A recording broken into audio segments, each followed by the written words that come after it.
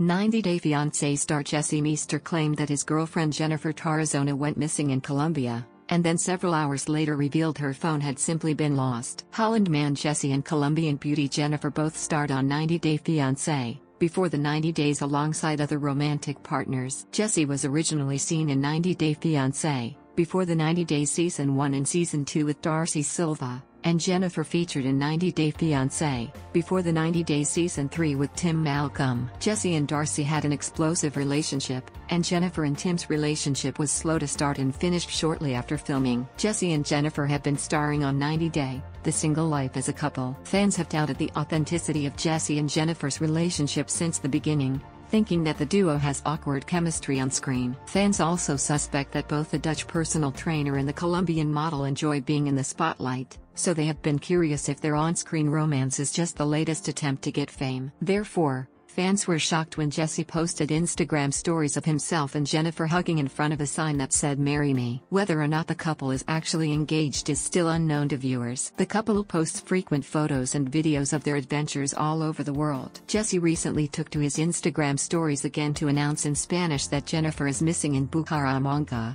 and asking for those with information to come forward. Jesse explained that at the time of posting, he had not heard from his girlfriend Jeniffer in 24 hours. He said that they were supposed to meet, and Jeniffer didn't show up. He said the last message she sent him said Te amo mi todo, or, I love you my everything. He also said he is not in Colombia, which may confuse some viewers as to where they were supposed to meet. Roughly five hours later, Jesse posted another update, which was shared by 90 Day Fiancé meme account 90 Day The Melanated Way on Instagram. According to the update, Jeniffer simply had reception issues and lost her phone. In his update, Jesse expressed his gratitude towards the members of the 90 Day Fiancé community that assisted him in his search for his girlfriend. The Dutchman revealed that Jeniffer had been at a farm, where she didn't have phone reception, and that she also lost her phone at some point. He said that she is completely okay. Followers of 90 Day The Melanated Way took to the comments to say that they thought the whole thing was a PR stunt, or that perhaps Jeniffer was with her ex. Kakua. Jesse has been hailed as a franchise villain for his treatment of his ex Darcy in 90 Day Fiancé,